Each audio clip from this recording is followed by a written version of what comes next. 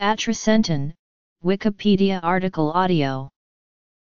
Atrasentan is an experimental drug that is being studied for the treatment of various types of cancer, including non-small cell lung cancer. It is also being investigated as a therapy for diabetic kidney disease. Atrasentan failed a phase 3 trial for prostate cancer in patients unresponsive to hormone therapy. A second trial confirmed this finding.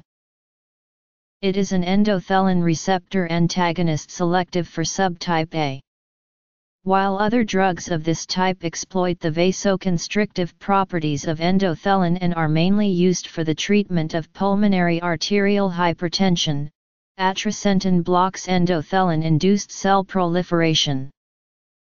In April 2014, de Zeeuw etal showed that 0.75 mg and 1.25 mg of atrasentan reduced urinary albumin by 35 and 38% respectively with modest side effects. Patients also had decreased home blood pressures decreased total cholesterol and LDL.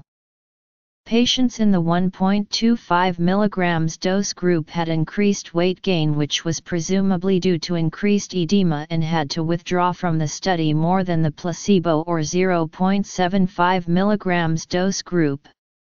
Reductions in proteinuria have been associated with beneficial patient outcomes in diabetic kidney disease with other interventions but is not an accepted endpoint by the FDA.